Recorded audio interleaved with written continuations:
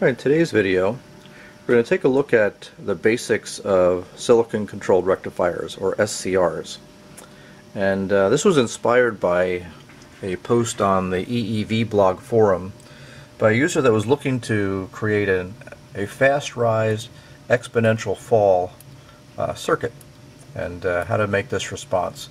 Uh, on the scope uh, the yellow trace is the response that the uh, user was asking for and the blue trace is the trigger input and uh, he really wanted the output to rise quickly regardless of whether the trigger input was short like I'm doing here or long like that but still wanted the circuit to respond with you know just a, a fast rise and exponential fall. So I responded that uh, this would be pretty easy to do with an SCR or a silicon controlled rectifier. So this video is just going to talk about uh, the basics of an SCR and, uh, and how it works and then how we put this circuit together. So an SCR, or silicon controlled rectifier, is essentially a diode that can be turned on and off. And then really it's kind of a bistable latching rectifier. And what we mean by that is that the anode to cathode path the norm, normal forward bias path of the diode, is open circuited until the device is triggered. And it's triggered by forward biasing the gate to cathode junction. And once that's forward biased with a current that exceeds the gate threshold current, then the diode or the device turns on. And uh, then once the anode to cathode current reaches a certain value, which is often called the latching current, um, then the device will stay on even if the gate voltage and the bias is then removed. So, uh, and then once, as long as that current stays above what's called the holding current, okay, then the device will always stay on. If the hold the current through the device drops below the holding current, then the device will turn off. Uh, sometimes the holding current and the latching current is, are used interchangeably, but really the latching current is the current that it takes to initiate that self-regenerative behavior that keeps it on. And then, uh, then the holding current is the current that you have to stay above to stay on. Now, the way to understand the way an SCR works is you can kind of use this equivalent circuit. It's kind of a, like a four-layer device. If you think about this, if you just apply voltage across anode to cathode with nothing at the gate.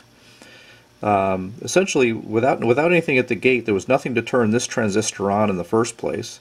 If this transistor is turned on, there's no current flowing here, which means there's no current flowing out of the base of this PNP, so he's off as well. So it looks like an open circuit from anode to cathode. As soon as you apply some bias to the gate, this transistor starts to conduct. When it starts to conduct, it pulls some collector current, which pulls base current through this PNP transistor. When base current is pulled through here, current flows down out of the collector and therefore supplies base current to this device. So essentially this self-regenerates and turns on. So even if I remove what I had applied at the gate, we're still going to have current flowing from anode to cathode. Now this is not a perfect analogy, but it certainly shows you know, how an SCR basically works. So let's go take a look at it on the breadboard and then we'll examine that fast rise exponential fall circuit. Let's take a look at the circuit I have on the breadboard. So uh, we just have a power supply that's supplying about 9 volts here through a very sensitive uh, white LED. That's going into a rheostat connected potentiometer variable resistor. Going in through my Simpson 260 hooked up as an ammeter another current limiting resistor, and the SCR.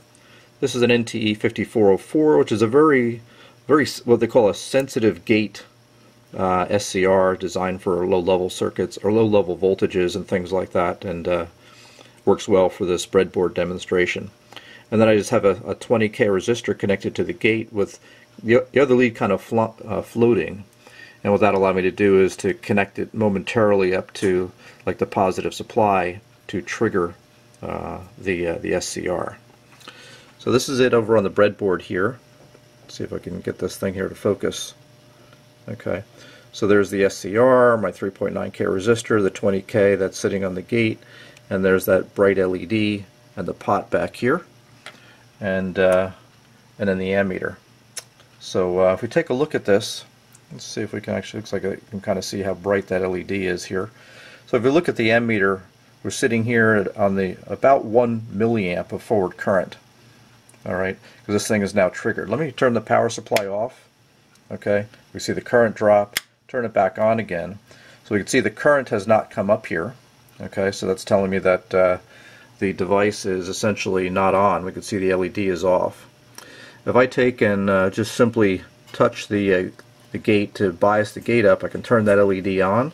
So now, even with the bias not connected, the LED is on, and I've got about uh, a milliamp or so of, uh, of current uh, flowing.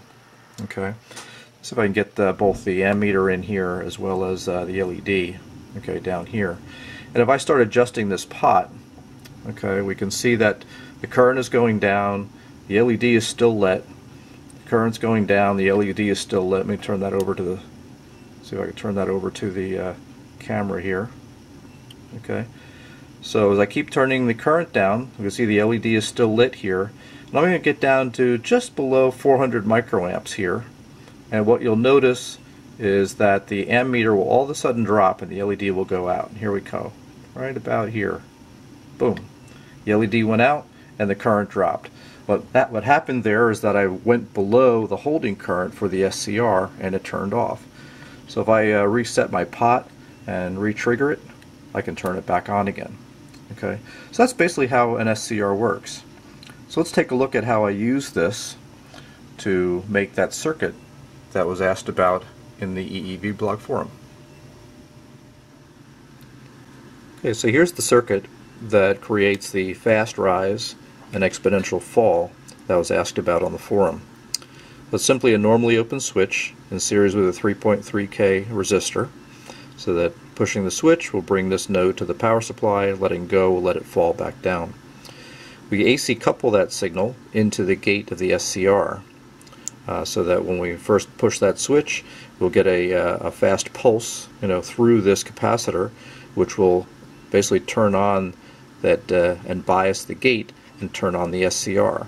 As soon as the SCR gets turned on, uh, it's got a very low impedance. It just has a voltage drop across it, so it charges this capacitor very quickly.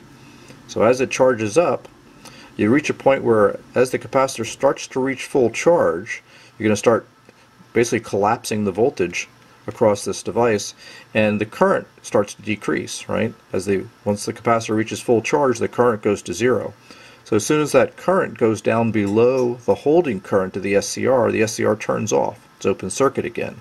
So now we've got that fast rise, but as soon as we're done charging, this device turns off, and now the capacitor will discharge through this resistor so that the exponential decay is really just a function of this uh, RC time constant.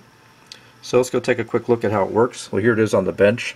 So there's the SCR, 10 nanofarad cap, 3.3k resistor, the switch, and then the other resistors and capacitors in here. So if we take a look over at the, uh, the scope, so we can see if I just push the switch quickly, okay, and I'm just doing about as quick as I can here, you can kind of see even if I've got a short little pulse, you know, that uh, on the switch, I get the fast rise and exponential fall. Even if I push and hold the switch, okay, for a longer period of time, even, even longer, okay, even longer, we can actually see that I'm still getting that same response. Whether I do a short little push or short little pulse or a long pulse, uh, we're still going to get just that single rise and exponential fall. And that's what uh, was asked about on the forum. So again, kind of an unusual application, or not probably not a typical application for an SCR, but uh, but a nice excuse to take a look at SCRs and see what they're all about. Anyway, I hope you enjoyed that. Thanks again for watching. Comments are always welcome.